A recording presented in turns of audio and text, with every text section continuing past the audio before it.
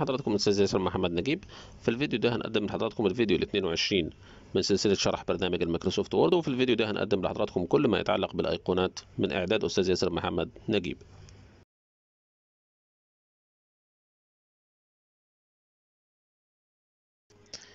هنبدأ. باننا ندخل على قائمة Insert بعد كده هتلاقي رمز ل Icons. خاصية الأيقونات مش موجودة في النسخ ال Word القديمة. ولكنها في النسخ الحديثة هتلاقيها موجودة. طيب هضغط على أيقونز.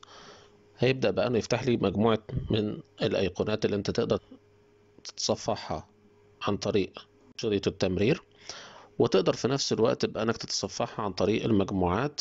بعد كده تختار الشكل اللي أنت عايزه وتدخل على الشكل اللي أنت عايزه وتعمل الحاجة اللي أنت تحبها. على سبيل المثال إحنا هنختار الرمز ده وهنقول له insert فهنا الرمز ده أصبح موجود قدامي. دلوقتي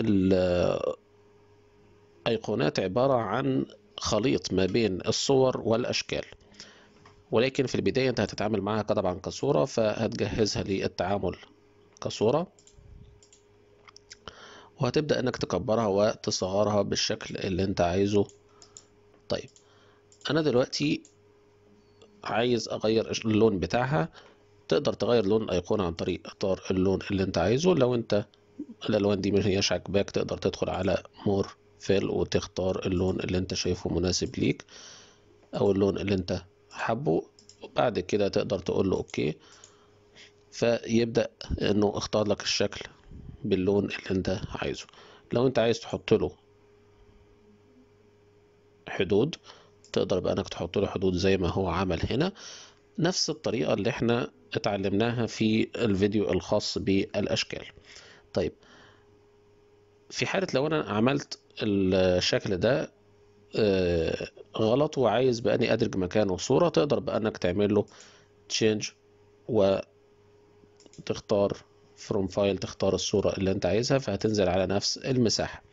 طيب في نفس الوقت تقدر تعملها من خلال ال click يمين و change لل icon اللي أنت حطيتها. طيب لو أنا عامل ال icon ديت هنسخ الأيقونة بتاعتي علشان أطبق عليها الفكرة دي.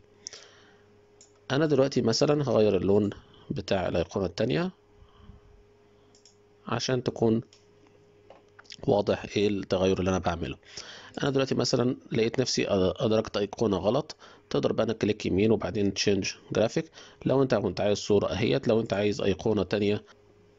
دلوقتي تقدر تعمل change للأيقونة فتقدر بقى إنك تدخل على الأيقونات وتعملها Change Graphic وبعد كده From Icons وتختار الأيقونة اللي أنت عايزها. على سبيل المثال هختار الأيقونة ديت وهقول له انسيرت هيبدأ هنا بقى انه عمل لك ايقونة بنفس المقاس ولكن هترجع انت تعمل التغيرات الخاصة بالألوان بتاعتها. طبعا تقدر تعمل للايقونة كروب أو أي حاجة زي ما بيحصل عادي في الصور وزي ما إحنا ما اتكلمنا عن الأيقونات بان الأيقونات هي عبارة عن خليط ما بين الأشكال والصور. هنرجع للشكل ده. في حاجة بتتميز بيها الأيقونات عن الصور وعن الأشكال وهي بأنك تقدر تغير حالتها. طبعا تغيير الحالة بتاعتها بتبقى مرة واحدة بتبقى عن طريق click يمين و convert to shape أو بأنك بتختار الصورة وتدخل على format وبعدين convert to shape بيحذرك بأن الحالة ديت هتأثر على حالة الشكل بتاعك. طبعا إحنا هنقبل دلوقتي لو تلاحظ في قائمة الفورمات بتاعتك أنت دلوقتي بقيت بتتعامل معاها كشكل من الأشكال الطبيعية وليس كرمز لاحظ بأنك وأنت بتختار هتلاقي بأنك تقدر تختار كل شكل من الأشكال المكونة للصورة. على سبيل المثال أنا أقدر أحذف الحاجات ديت.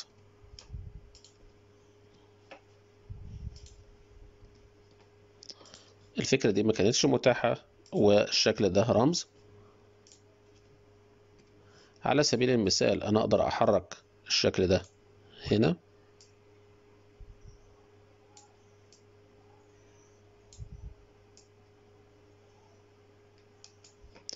تقدر تعمل التغير اللي انت شايفه مناسب وتقدر بأنك تخلي الشكل ده بلون مختلف.